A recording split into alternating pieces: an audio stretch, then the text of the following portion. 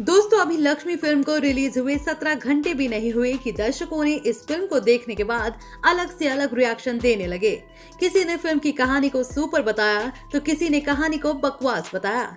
तो कहीं अक्षय कुमार के रोल को लेकर खूब सराहना हुई तो किसी ने शरद केलकर के रोल को बकवास बताया। अब इस लिस्ट में किया राजवानी का नाम भी जुड़ चुका है, जो कि फ़िल्म की लीड एक्ट्रेस रश्मि का ज़बरदस्त किरदार निभाते हुए नज़र आई थी, और दर्शकों ने किया राजवानी के लुक से लेकर अभिनय को खूब पसंद किया।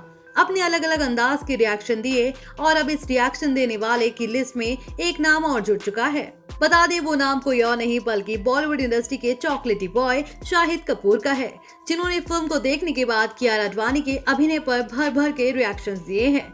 जी हाँ बता दें, अभिनेता शाहिद कपूर ने जब ये फ़िल्म देखी तो अक्षय कुमार शरद केलकर से लेके सभी किरदार पूरी फ़िल्म में नज़र आए थे, और उनके किरदार को काफ़ी अच्छे से हाईलाइट भी किया गया।